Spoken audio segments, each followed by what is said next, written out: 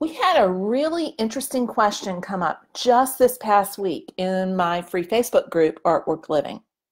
And the question all revolved around Does style matter in making sales of your artwork? In other words, does one style sell better than another? So, a little quick background story. So, this um, member of my Facebook group had attended a webinar where the person who was presenting told the audience that in order to make sales of their work, they needed to switch their style. That if they were a representational painter, that they needed to move to becoming an abstract painter in order to have any sales of their art happen. So this flummoxed, understandably, the member of the group, and she came into the group to ask everyone's opinion about that. And I'm so very glad that she did because I think she got fantastic feedback from everyone in the group about what the reality is about the impact of style on sales. But I wanted to share that with everybody in case you're a member of the group and you hadn't seen that post yet or if you are not a member of the Facebook group and this is something that you've wondered about at one time or another. So, the truth is that there's space in the art world for every style of art. And there's an audience out there to appreciate that style. It used to be that there was more of a singular art world one main art world that dominated the whole system. And you had to paint according to that style in order to make any sales. That was back when there were more gatekeepers, when galleries were the only way to really make a living in painting, to make consistent sales. That's just not the way it is anymore. The whole system has changed and been disrupted in our favor. So there is indeed not just one art market anymore. There are multiple art markets. There are niches, small groups around every style that there is.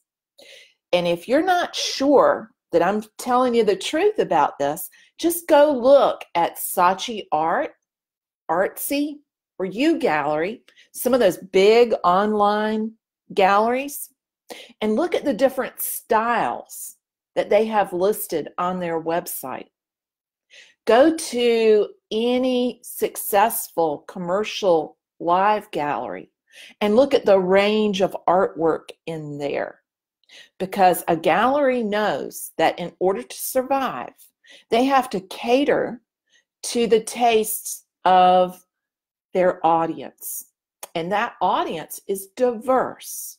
So there is no longer just one style that's out there that's going to make you sales.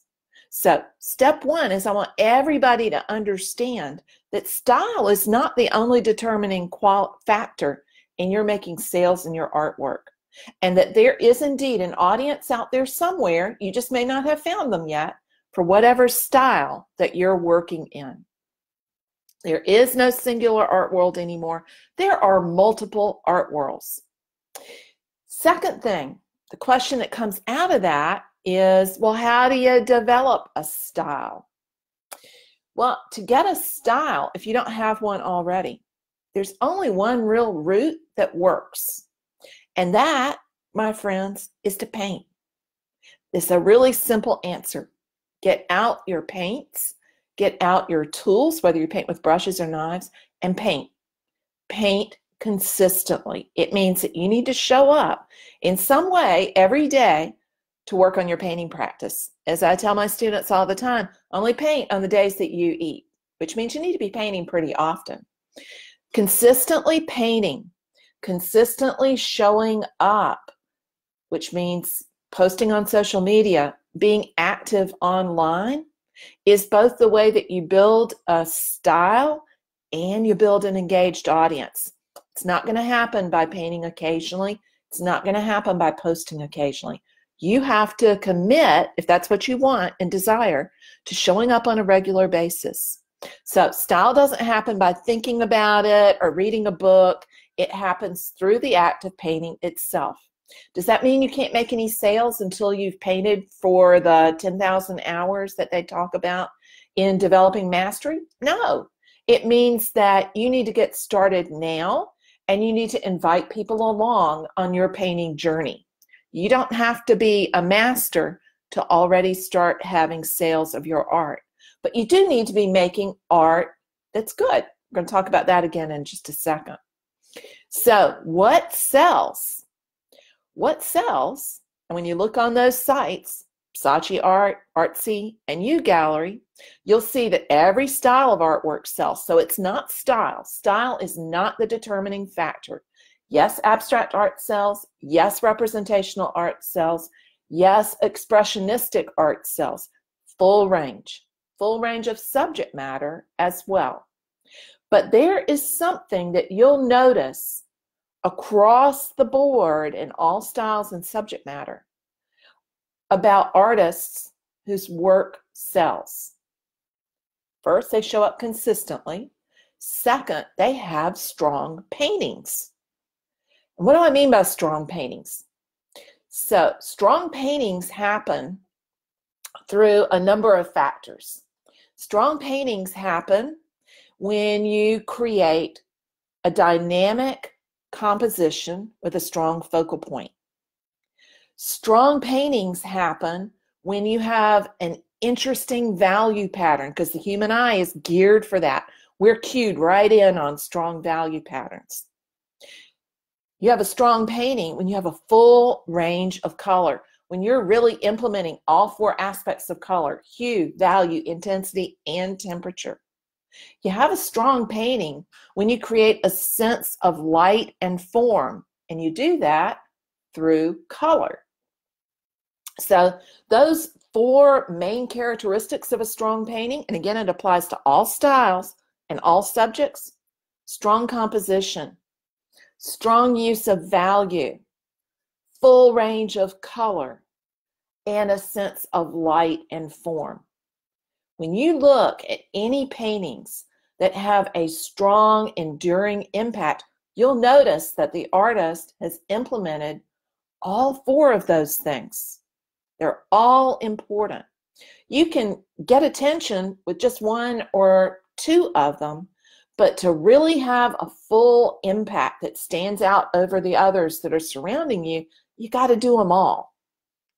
So if somebody is telling you that you can't be yourself, you can't paint what you love, in order to find a, a community of supporters, in order to find an audience for your work, I want you to thank them so much for their input because it always works to be polite. And usually, when people are giving you advice like that, most of the time it's coming from what they think to be true and from the goodness of their heart. Thank them profusely and walk away. And when it doesn't ring true to what you know to be important to you, let it go. They are not your person, they're not part of your tribe. Walk away fast. Instead, be yourself first and foremost. It does not work to paint for the market. You have to paint what you love and what you know. That is a rule that's been true since people have started painting. You have to love what you do. If you don't, if you're painting for the market, people will know and it will not attract them. I've seen that happen over and over and over again. So paint what you love and then go out to find a community of other people who love those same kinds of things. In other words, get in front of a market that already exists. You don't have to go create a market. You just need to find the one that's already out there. Like I said earlier, there is a market for every style and subject that you can possibly come up with. You just haven't found them yet if you're not making sales yet. You're not showing up consistently for them. So you need to find that community that's passionate about those same things. And then here is the real key, and I want you to take this to heart. You have to serve the heck out of them. And service means it's not just about sales. It means you have to, in some way, make their life better through your art. Mm, that's the one I want you to ponder on. And I want you to think about it and drop a comment back in here if you think you're already tuning in on how you can serve your community. Let me know in the comments below which one of these things you feel like you're kind of stuck on right now. And let's talk about diving into making those better. But bottom line, find your community, do what you love, and then serve that community. Take care, y'all. Happy painting, everybody. Bye bye for now.